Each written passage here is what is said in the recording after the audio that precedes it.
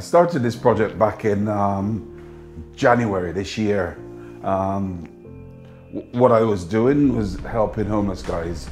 Um, I met one homeless guy and then it sort of got me motivated to do more. When we go out on the streets doing outreach on a Thursday, I used to say to the guys, what can I do for you?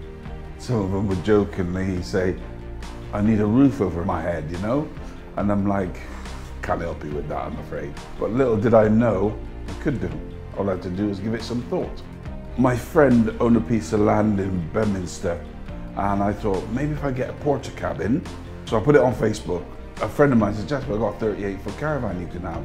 So we were on site with one caravan, about four guys living in there.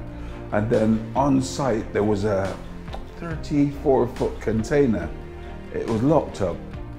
And I sort of just looked at it and thought I could use that for storage got a couple of friends in, we cleaned it out, and then once that's been cleaned out, I put beds, six beds in there, three in each end, and then um, went from there. And the idea just built from there. We've got five, going to be six next week operational. Um, we're going to do 11 in total on site. Um, we got people living in the containers at the moment. You know, they're fully insulated with heating, running water.